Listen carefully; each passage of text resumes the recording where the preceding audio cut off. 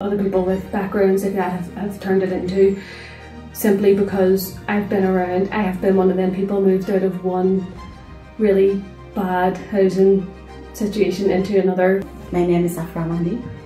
I'm originally from Sudan. I came here one year and nine months ago.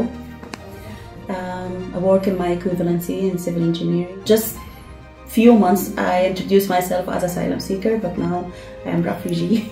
the problem is when you are newcomer in even a different type of culture and language, there is a lot of obstacles on your way.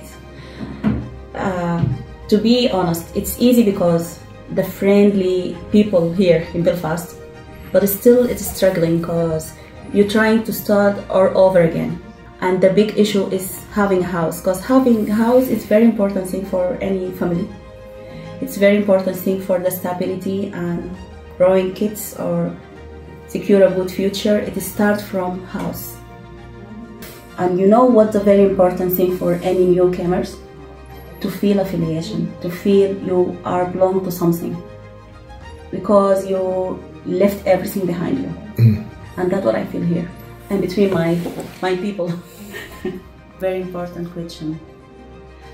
Why this piece of heaven not be a pilot for Belfast City, like a starting point, and then we're trying to copy these models. I mean, it's a one place, but it can be a community there, farms, green space, employment units, and even this draw the crowded from the city center to this place.